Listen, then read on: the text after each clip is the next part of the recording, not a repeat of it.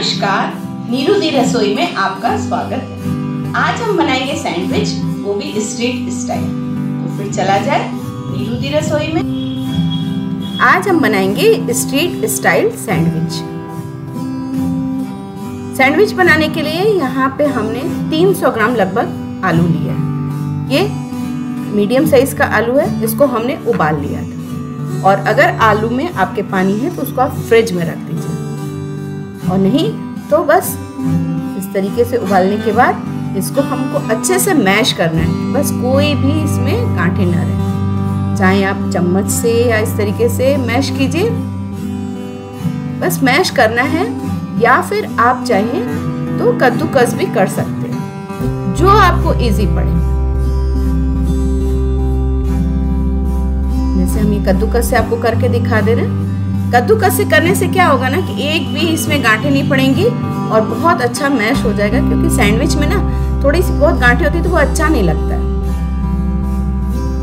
अब यहाँ पे हमने कुछ सब्ज़ी ली है, जैसे ये एक छोटी शिमला मिर्च ली उसका बीज निकाल के बहुत महीन महीन काट लिया एक बड़ा प्याज लिया इसको भी बारीक बारीक काट लिया है। गाजर लिया है, इसको हमने छोटे छोटे पीस में काट लिया आप चाहें तो कद्दूकस भी कर सकते हैं। थोड़ा सा मेरे पास स्प्रिंग ओनियन था, उसको भी हमने काट लिया।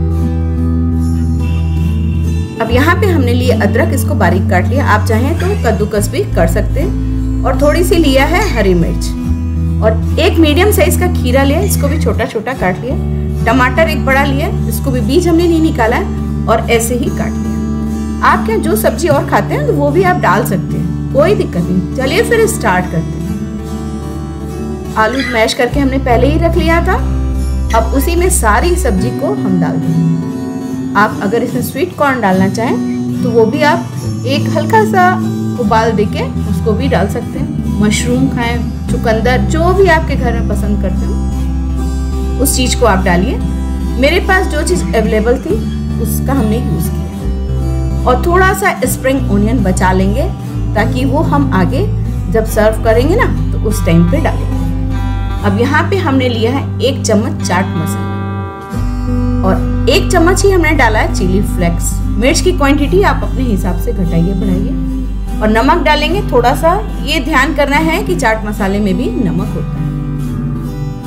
अब इसमें डालेंगे लगभग दो चम्मच बड़ा टोमेटो केचप। बहुत ज़बरदस्त इस सैंडविच का स्वाद आता है। आप एक बार ज़रूर बनाइए और सबको खिलाइए। टिफ़िन में ले जाइए। या कोई आने वाला है, फटाफट ये बनने वाला नाश्ता है, आप तैयारी करके रखिए और इसको गर्मा गर्म सर्व कीजिए। जब आप खाएँगे तो आपको खुद भी बहुत अच्छा लगेगा। यहाँ पे हमने लिया है दो पीस ब्रेड ब्रेड सॉफ्ट लेना है, आप चाहें तो कॉर्नर काट भी सकते हैं और चाहें तो न भी काट सकते हैं, हम नहीं काटेंगे। और ये दो तीन चम्मच हमने लिया टोमेटो केचप और दो तीन चम्मच ही लिया हरी मिर्च की चटनी। अब इसमें एक पीस ब्रेड में हम केचप को अच्छे से स्प्रेड कर देंगे। कंजूसी नहीं करेंगे, नहीं तो उससे क्या होगा ना कि फिर टेस्ट नहीं आएगा। अब दूसरी स्लाइस में हम लगा देंगे हरी चटनी।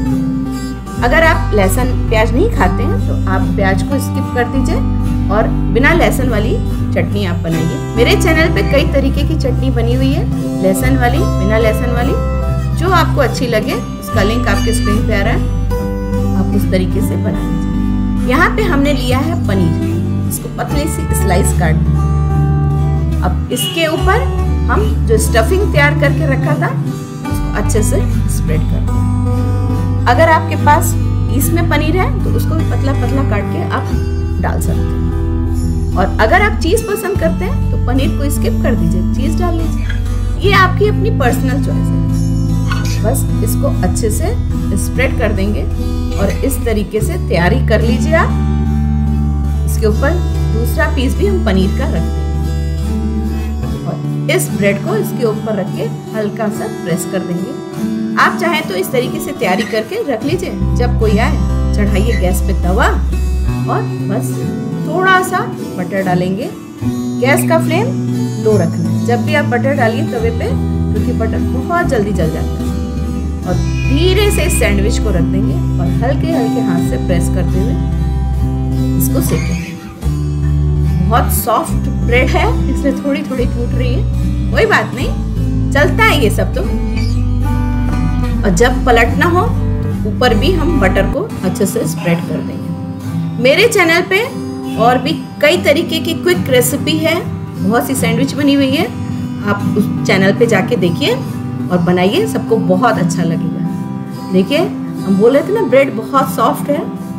बस लो टू मीडियम फ्लेम में ही इसको सेकना है। आप चाहें तो टोस्टर में भी सेक सकते हैं। टेस्ट एक ही आना, बहुत अच्छा लगेगा। लो टू मीडियम फ्लेम में ही इसको सेकिए।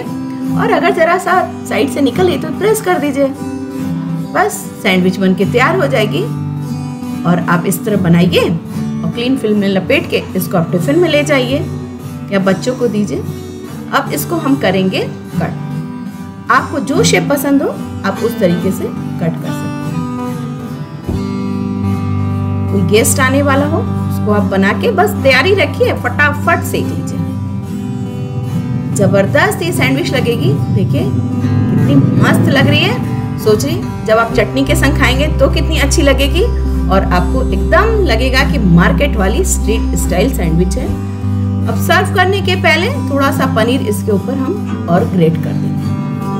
आप चाहें, अगर चीज़ पसंद करते हैं तो इसके ऊपर चीज़ भी ग्रेट कर सकते हैं।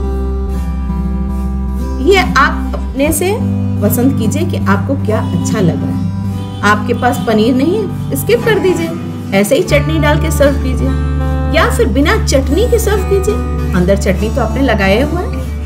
बहुत सिंपल बनी है, कोई मसाला नहीं, कोई ताम झाम नहीं, केवल चाट मसाला। वो डालिए। जो बच्चे पीजी वगैरह में रहते हैं, उनके पास चाट मसाला तो होता ही है, बस डालिए, बनाइए, ले जाइए आराम से।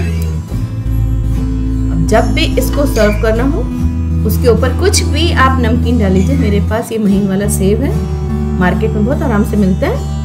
बस इसके ऊपर डाल दीजिए स्प्रेड कर दीजिए, और थोड़ा सा स्प्रिंग ओनियन साथ में लगाइए चिप्स मज़ेदार स्ट्रीट स्टाइल सैंडविच बनके तैयार है। चलिए फिर मिलते हैं अगली वीडियो में नई रेसिपी के साथ।